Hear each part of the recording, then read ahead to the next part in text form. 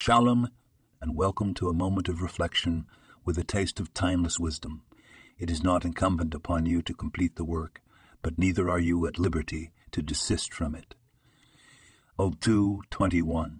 This proverb reminds us that life is a journey, not a race.